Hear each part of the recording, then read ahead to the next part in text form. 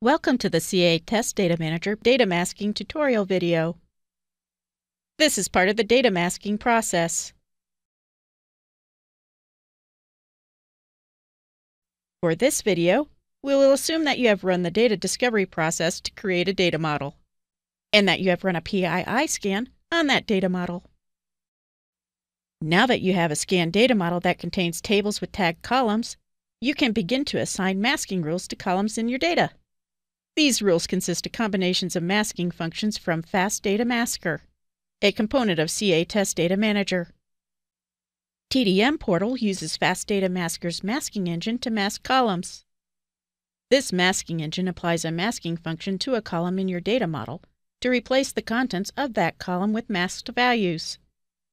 In this example, the masking function hash LOV takes a seed list as its only parameter Masked values are taken from this seed list. In this case, UK male first names. A mask function group is a configuration of masking functions that TDM Portal executes sequentially on a column in your data source using FDM's masking engine. This configuration includes masking functions, the order in which to execute the masking functions, and it can contain default parameters for each masking function. TDM Portal associates mask function groups with columns in your data model based on the tags assigned by the PII scan. These tags are taken from the classifiers with which TDM Portal performs the PII scan. Note that columns with different default mask function groups can share a common tag. Let's go back to the data model heat map view. Here we can see that these green tables have no tags assigned to any of their columns. Yellow tables have between one and four distinct tags assigned to one or more of their columns. If a column has more than one tag from the PII scan, the tag from the classifier that best matches the contents of the column is the column's primary tag. If a column has only one tag, this is its primary tag by default. The column's primary tag defines the mask function group that is assigned to it. Let's add our own tag to a column in one of the tables that currently has no tags assigned.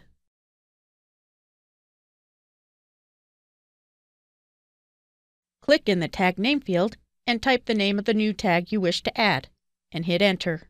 You must also give a reason for adding your manual tag. We can close the table without confirming, or we can confirm the table to mark that we have manually reviewed it. Let's confirm that we have reviewed this table and close. Notice that the table we confirmed has a tick on it, and it is now yellow because it has one tag assigned.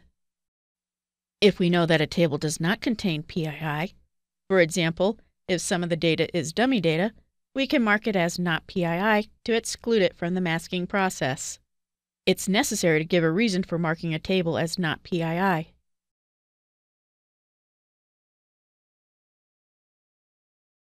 Now let's set up the masking configuration. On this page, you can set a mask function group for each tag column. Columns can be viewed by table or by tag. For now, let's view them by table. Let's expand a table to view its tag columns. For each column, you can choose from the mask function groups associated with the column's primary tag. You can edit the selected mask function group by clicking the Edit icon. And you can add a mask function group by clicking the Add icon. First, let's look at editing the selected mask function group. You cannot make changes to mask function groups derived from classifiers. To make changes to a mask function group, you need to make a copy and edit.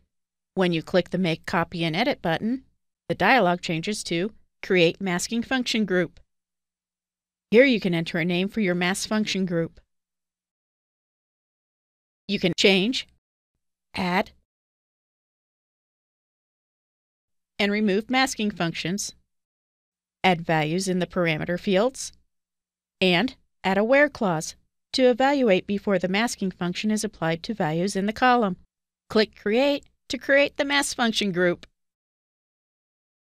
You can edit your custom mask function groups. When you are happy with all the columns mask function groups, click Next. On this screen, you can change settings that apply to all columns in your masking job.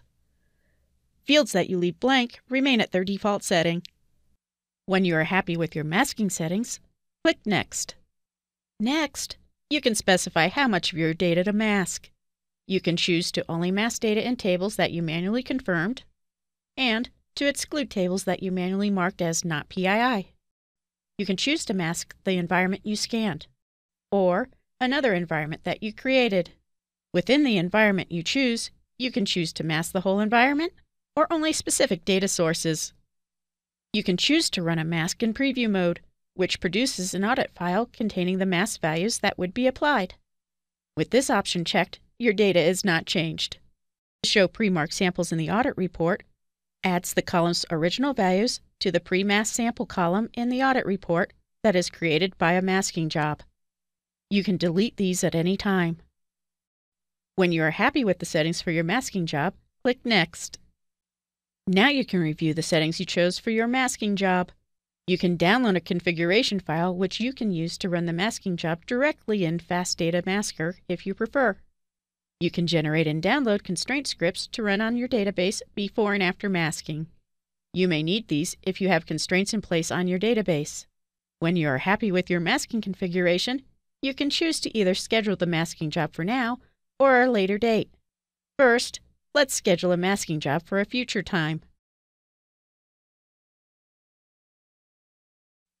The job is added to the list of masking jobs.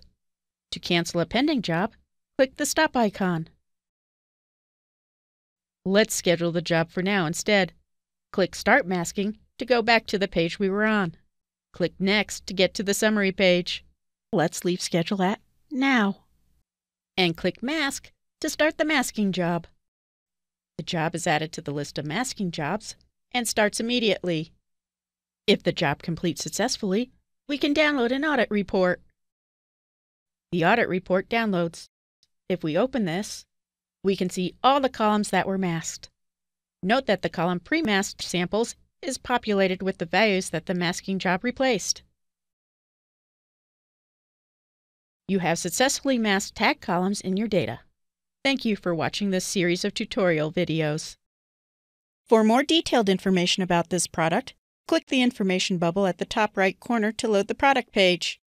From there, you can visit product documentation, support, communities, or see the learning paths.